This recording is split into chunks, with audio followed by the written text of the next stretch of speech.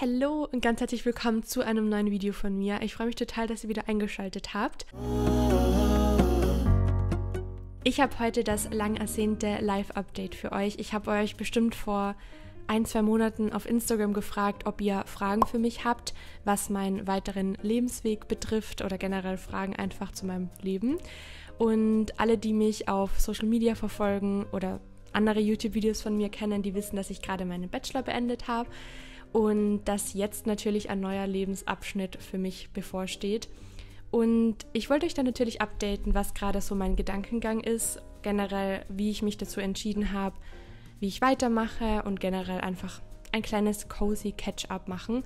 Ich wollte das Ganze mit ein bisschen besserer Qualität aufnehmen. Das heißt, ihr könnt die ganze Folge auch so ein bisschen als Podcast-Folge anhören. Ich habe mir die ganzen Fragen ähm, notiert und werde die einfach nach und nach mit euch abarbeiten. Und ja, ich würde sagen, holt euch irgendwas zum Trinken oder was zum Essen, lehnt euch zurück und ähm, dann würde ich sagen, lege ich los. Ich fange mal so ein bisschen mit den Basic-Fragen an und arbeite mich dann so ein bisschen Richtung was ich jetzt überhaupt machen werde. Ich habe auch letztens ein Video hochgeladen, falls ihr das noch nicht gesehen habt, schaut euch das gerne an. Da habe ich euch auch so ein bisschen erklärt, was ich jetzt so vorhabe, beziehungsweise was gerade so meine Gedanken sind. Ähm, die erste Frage ist, wie war dein Studium für dich und wie lange hast du gebraucht? Also ich habe Wirtschaftswissenschaften studiert hier in Innsbruck und wie das Studium für mich war, ich habe im März 2020 mit meinem Studium angefangen. Das heißt, ich hatte eine Woche, ähm, in der ich Präsenz studiert habe. Dann kam der Lockdown. Das war dann natürlich ein Schock für mich und für alle anderen ähm, auch. Aber ich habe mir mein Studium anders vorgestellt. Ich habe mir vorgestellt, dass ich viel mehr Menschen kennenlerne, dass ich viel mehr soziale Kontakte habe, dass ich komplett eine neue Freundesgruppe aufbaue. Generell einfach, dass ich so. Ich habe es mir ganz anders vorgestellt, aber ich glaube, ihr auch, falls ihr auch in der Zeit angefangen habt zu studieren. Ich habe quasi in, dem ersten, in den ersten vier Semestern so gut wie niemanden kennengelernt. Klar, hin und wieder so Gruppenarbeiten, aber das war alles nur online. Also wir haben uns höchstens über Zoom gesehen. Und damals war ja auch die krasse Ausgangssperre. Das heißt, es war super schwer für mich, da Kontakte aufzubauen. Ich habe mich sehr oft sehr alleine in meinem Studium gefühlt. Ich finde nämlich, jetzt da ich zwei Semester Präsenzstudium hatte, weiß ich, wie nice das sein kann, wenn man wirklich jemanden hat, mit dem man, mit dem man lernen kann, mit dem man sich austauschen kann, den man um Rat fragen kann. Das ist so viel wert. Und ich habe mich damals irgendwie so richtig alleine durchs Studium gekämpft.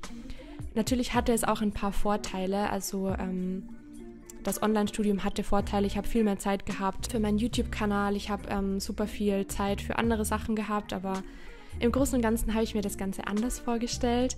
Trotzdem muss ich sagen, war mein Studium für mich sehr gut. Also ich habe sehr, sehr, sehr viel gelernt ähm, auch weil ich noch nie irgendwas mit Wirtschaft zu tun hatte. Meine Schule war eine rein naturwissenschaftliche Schule. Ich hatte gar nichts mit Wirtschaft zu tun. Deswegen war das super interessant für mich. Ich habe sehr viel gelernt und ich habe sechs Semester gebraucht für mein Studium. Und ähm, ja, das war es eigentlich mit der Frage. Wie bist du auf dein Bachelorarbeitsthema gekommen? Ich habe dieses Semester meine Bachelorarbeit geschrieben und zwar ich habe das in Unternehmensführung geschrieben und das Thema war New Work, also der Oberbegriff war New Work. Das habe ich vorgegeben bekommen. Also wir hatten so, ich glaube, insgesamt zwölf Themen zur Auswahl mit so einem Oberbegriff und man konnte da so Präferenzen setzen, welches Thema man am liebsten hätte. Und New Work war mein Lieblingsthema. Und ich habe das bekommen. Ich habe mich richtig gefreut, ähm, weil ich das super interessant finde. Und meine Forschungsfrage war, inwieweit beeinflusst New Work die Arbeitsproduktivität und Zufriedenheit der deutschsprachigen Bevölkerung? Und ich habe da auch einen Fragebogen erstellt und ich fand das Thema total interessant. Und wie ich darauf gekommen bin, war, dass ich einmal eine quantitative Forschung machen möchte. Das bedeutet mit einem Fragebogen. Und da ist es super gut, wenn man irgendwie in der Fragestellung drin halt hat, inwieweit beeinflusst das eine das andere, sodass man das mit einem Fragebogen irgendwie herausfinden kann. Ich habe da ein bisschen herumprobiert, habe mich auch so ein bisschen durch andere Studien durchgelesen und bin dann schlussendlich auf das Thema gekommen. Habe da auch mit meinem Betreuer gesprochen, also genau so bin ich darauf gekommen. Aber den, ähm, den Überbegriff New Work habe ich quasi zugeteilt bekommen, worüber ich sehr froh war, weil ich fand das mega nice. Hattest du schon mal Zweifel während deinem abgeschlossenen Studium? Für alle, die mich kennen, wissen, dass ich mein Studium gewechselt habe. Also ich habe damals Chemie studiert, habe dann gewechselt ähm, zu Wirtschaftswissenschaften. Aber die Frage bezieht sich jetzt auf dieses Studium, ob ich da schon mal Zweifel hatte. Ich muss mal kurz überlegen ich wusste eigentlich von Anfang an, dass ich das durchziehen möchte, auch wenn ich keinen Plan hatte, was auf mich zukommt. Aber ich wusste quasi, was ich mit dem Studium erreichen möchte. Ich wollte das Studium beginnen, weil ich mich einfach in dem Bereich Wirtschaft auskennen wollte. Das war mein Ziel. Und deswegen dachte ich, also deswegen habe ich eigentlich nie drüber nachgedacht, ob ich aufhören möchte mit dem Studium oder ob mir das nicht gefällt. Im letzten Semester hatte ich unfassbare Struggle mit einer Prüfung. Ich bin einfach zweimal durch eine Prüfung durchgefallen und ich muss sagen, da habe ich an schon sehr viel gezweifelt. Da habe ich vor allem an mir und an meinen Fähigkeiten total gezweifelt aber ich habe jetzt nie überlegt, das Studium abzubrechen. Ich kann mich erinnern an einem Satz, als ich die Note bekommen habe, dass ich wieder durchgefallen bin, meinte ich zu Jakob, das war, also ihr müsst euch vorstellen, das ist die letzte Prüfung von meinem Studium gewesen. Ich meinte zu Jakob so, eigentlich brauche ich doch gar keinen Bachelor. Ich komme so auch ganz gut zurecht. Natürlich war das nicht ernst gemeint, aber ich glaube, da hatte ich schon ganz kurz im Kopf so, was, ich, was ist, wenn ich es einfach lasse. Aber nie ernsthaft. Also das war nur in meiner Verzweiflung raus. Ähm, also würde ich mal sagen, nein, ich hatte eigentlich in dem Studium hatte ich keine Zweifel. Dann eine bisschen persönlichere Frage, beziehungsweise so ein bisschen zu meinem, zu meiner Mental Health. Wie sieht es mit dir gerade mit dem Overthinking aus? Wie kommst du aus der Spirale raus? Dieses Jahr, das hat so angefangen im Dezember, würde ich mal sagen. Da hatte ich die Prüfung geschrieben. Ich glaube, das war so ein bisschen der Startschuss. Äh, am 16. Dezember habe ich die erste Klausur geschrieben. Das war Öko, für alle, die in Innsbruck studieren. Die Prüfung ist nicht ohne. Ich habe da Öko geschrieben und gleichzeitig auch meine Bachelorarbeit geschrieben und ich habe meine Bachelorarbeit so ein bisschen aufgeschoben, weil ich unbedingt Öko bestehen wollte. Also ich, weil, ich wusste damals schon, dass die Prüfung echt nicht ohne ist und dass jeder meinte, man muss richtig reinhauen. Das habe ich auch gemacht. Habe dann die Prüfung geschrieben und dachte mir, ja, ich kann danach richtig mit meiner Bachelorarbeit durchstarten. Ähm, ich habe dann aber die Prüfung nicht bestanden und bin dann ganz, ganz tief in ein kleines Verzweiflungsloch gefallen musste dann aber richtig Vollgas geben, weil ich hatte noch einen Monat Zeit bis zur Abgabe meiner Bachelorarbeit. Das heißt, ich habe durchgezogen.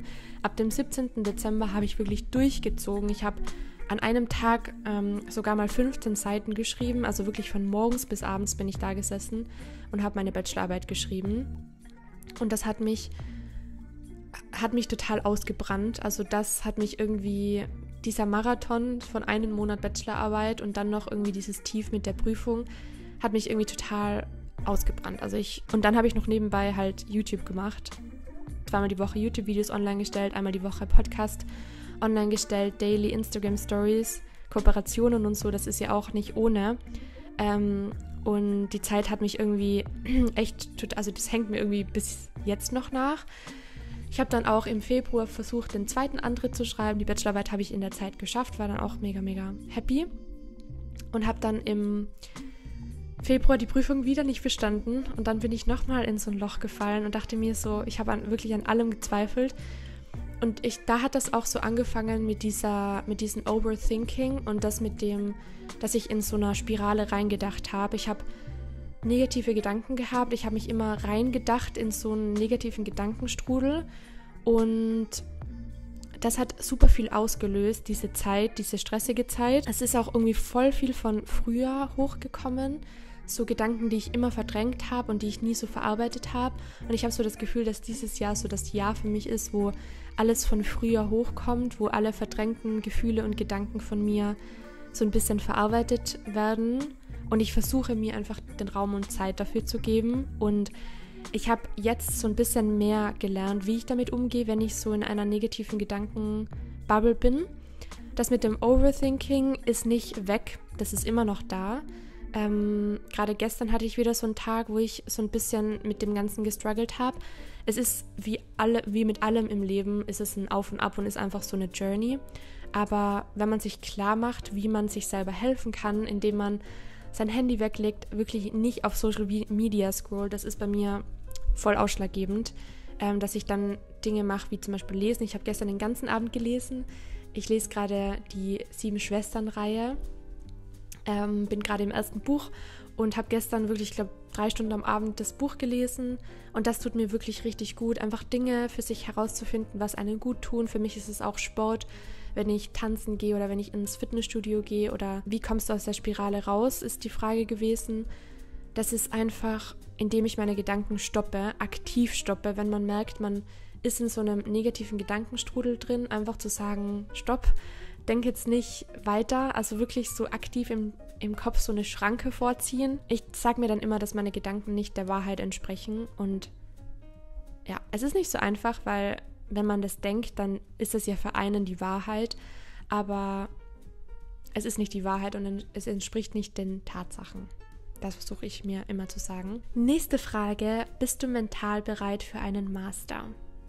Nein, ich bin mental aktuell nicht bereit für einen Master. Ich habe eben gemerkt, wie krass mich das dieses Semester ausgebrannt hat. Diesen Bachelorarbeitsmarathon, diese Klausuren, die ich immer wieder geschrieben habe. Und ich wollte die Zeit, das habe ich auch im letzten Video gesagt, ich wollte diese Zeit, die ich jetzt quasi bekommen habe nach meinem Bachelor, die wollte ich rein für mich selber nutzen.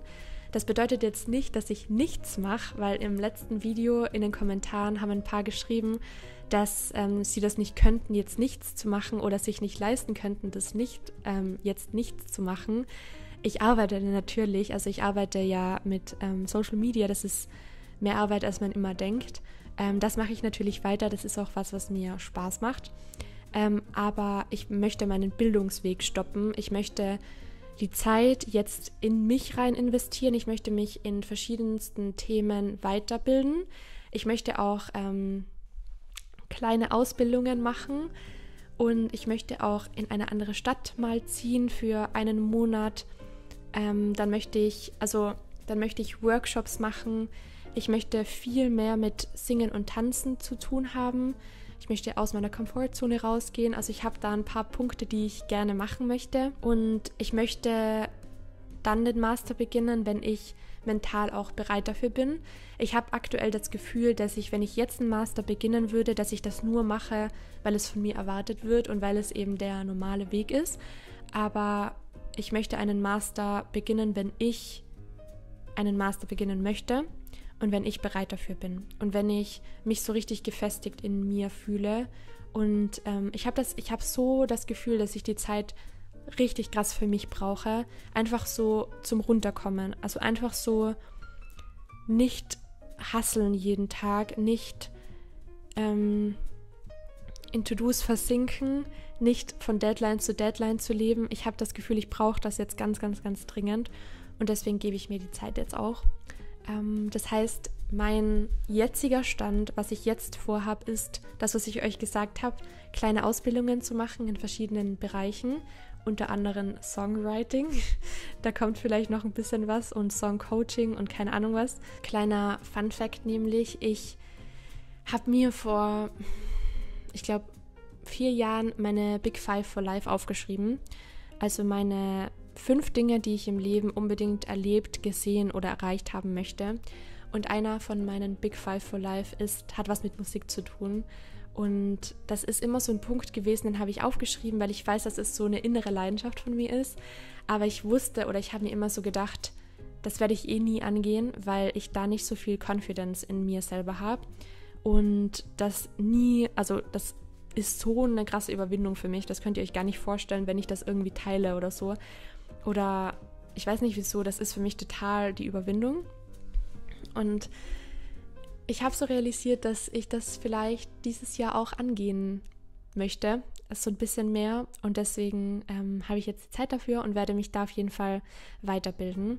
Also ihr merkt, ich mache jetzt nicht ein Jahr lang nichts, sondern ich mache einfach ein Jahr lang Dinge für mich selber oder auch Dinge, wo ich mich mega gerne weiterbilden möchte, aber nie während dem Studium die Zeit dafür gefunden habe. Übrigens, ich weiß, das sagen immer richtig viele in YouTube-Videos, aber sorry für die Lichtverhältnisse. Das Wetter im Moment ist so komisch. Mal ist es strahlend blauer, sonniger Himmel, im nächsten Moment fängt es richtig an zu regnen. Total komisch, aber ich hoffe, Ähm, dadurch, dass es ja so ein chilliges Sit-Down-Video ist, ist es nicht ganz so schlimm. Nächste Frage ist, ähm, welchen Beruf strebst du an? Was wäre, deine, was wäre dein Wunsch? Lustigerweise habe ich super viele Interessen, also ich habe super viele Ideen. Ähm, ich liebe es, über Psychologie, Mindset, Persönlichkeit zu lernen und kann mir da auch total irgendwas vorstellen. Dann liebe ich es aber auch, Dinge zu designen und Dinge zu entwickeln. Ich habe ja einen kleinen Online-Shop, wo ich digitale Planner entworfen habe. Der hat dieses Jahr auch eine kleine Pause gemacht, einfach auch wegen meiner mentalen Gesundheit, weil ich das irgendwie gar nicht mehr geschafft habe. Ähm, aber ich liebe das auch total.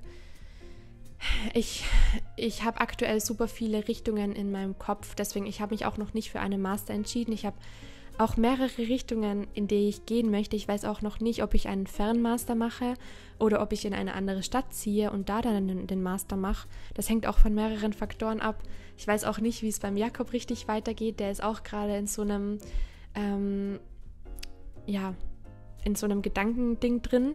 Das heißt, wir sind gerade beide in so einer Phase, wo alles passieren kann, wo wir überall auf der Welt landen könnten. Wir haben die verschiedensten Ideen, die verschiedensten Richtungen. Und ich bin sehr gespannt, wo es hingeht für mich und auch welchen Job ich dann schlussendlich mache oder in welche Richtung ich dann schlussendlich gehe. Ich hoffe einfach, dass ich einen Job habe oder dass ich das arbeite, wo ich mich so richtig wohlfühle, wo das mich jeden Tag erfüllt und was mich glücklich macht und wo, womit ich auch so ein bisschen anderen helfen kann. Das ist so mein Ziel. Was machst du jetzt nach dem Bachelor? Habe ich eigentlich gerade beantwortet, die Zeit für mich selber nutzen. Ähm, Genau, ich weiß nicht, wieso ich das nochmal aufgeschrieben habe. Ich glaube, ich wollte das davor gar nicht so richtig beantworten. Dann noch eine richtig intime Frage. Würdest du sagen, du liebst dich und deine Persönlichkeit? Für alle, die mich schon ein bisschen länger verfolgen, die wissen, dass ich schon ganz lange mit meiner Persönlichkeit gestruggelt habe, weil ich immer schon so ein bisschen ruhiger war, ein bisschen in mich gekehrter, so ein bisschen in meiner Schulzeit war ich oft so schüchtern. Und das hat mich echt richtig, richtig belastet, weil ich jeden beneidet habe, der extrovertiert war, der so richtig gut mit anderen sprechen konnte. Ich war nie diejenige, die sich so in den Mittelpunkt gedrängt hat und immer wenn ich im Mittelpunkt war, habe ich Panik bekommen. Ich habe die letzten Jahre sehr an mir gearbeitet, auch sehr an meinem Selbstbewusstsein, bin mir klar geworden, bin mir ein Stück weit klar geworden, wer ich bin und was mich ausmacht, was ich selber an mir mag und welche Eigenschaften ich an mir mag und ich habe realisiert, dass ich eigentlich die Eigenschaften an mir mag, die so ein bisschen mit dem Introvertiertsein einhergehen. Also ich mag oder die so ein bisschen damit einhergehen, dass ich ruhiger bin. Ich bin auch nicht immer ruhig.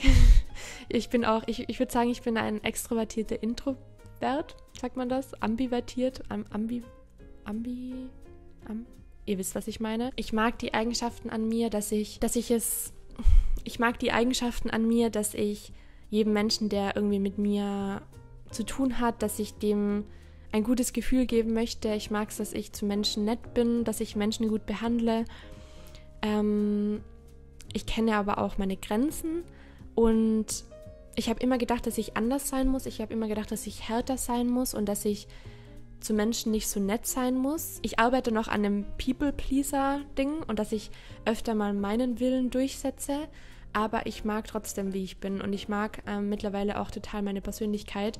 Ich struggle hin und wieder damit. Ich glaube, das ist auch normal. Aber im Großen und Ganzen habe ich mich und meine Persönlichkeit so akzeptiert und bin froh, wie ich bin. Und ich bin auch, ja, ich mag mich so, wie ich bin.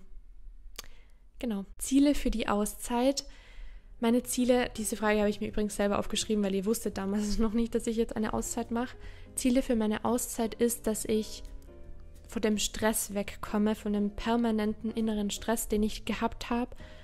Also ich habe richtig Herzrasen gehabt die, diese Zeit lang. Ich bin aufgewacht mit Herzrasen, habe nicht einschlafen können, bin in der Nacht aufgewacht mit Herzrasen und ich habe mich so gefühlt, als würde ich nur noch ähm, meine Dinge erledigen, ohne wirklich zu leben.